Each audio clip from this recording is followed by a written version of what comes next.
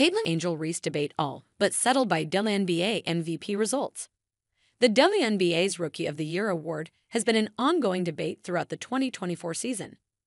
A battle between Indiana Fever guard Caitlin Clark and Chicago Sky forward Angel Reese has been entertaining the WNBA community all year.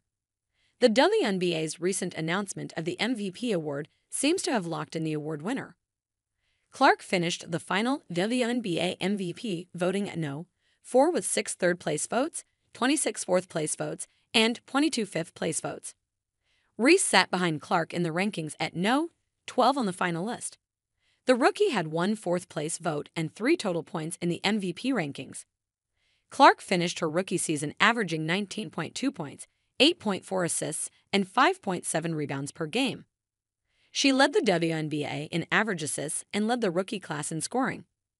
While Clark struggled in the turnover category, averaging 5.6 turnovers per game, which led the WNBA, the rookie was able to lead the Fever back into the playoffs. Indiana will be playing its first playoff game since 2016 on Sunday against the Connecticut Sun. They rounded out the season with a 20 20 record, their first 20 win season since 2015. Reese also posted some incredible numbers in her rookie season, averaging 13.6 points and 13.1 rebounds per game. Despite the numbers, her shooting struggles plagued a historic rookie season.